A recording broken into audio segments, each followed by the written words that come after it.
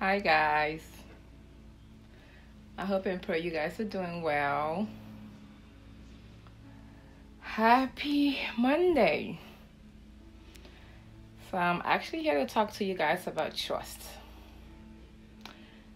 Don't trust everybody. Don't put your faith in no one but God. Not everybody can be trusted with your secret. Know who to talk to. Know who to review your secret to.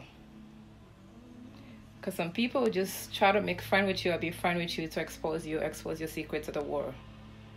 So try not to trust everybody. You can be friend with people, but just don't trust them with everything. Tell them some things and keep them some things to yourself.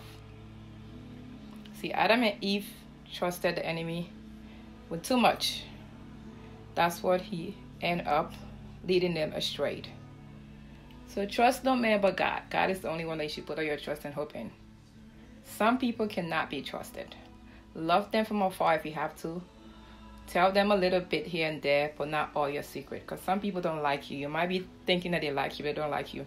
You tell them your deepest secret, they use it against you, or they turn it towards you as evil. So I'm encouraging you to know who to trust and who to tell your deepest secrets. Not everybody can be trusted in this world. Don't put faith in men. Trust no men, but God. Love people. Trust a few people that you know you can count on, but just not everybody. So this message is just to encourage you to know who and who not to trust. Have a blessed day, guys. Don't forget to subscribe to my YouTube channel. Take care. Bye. Love you guys.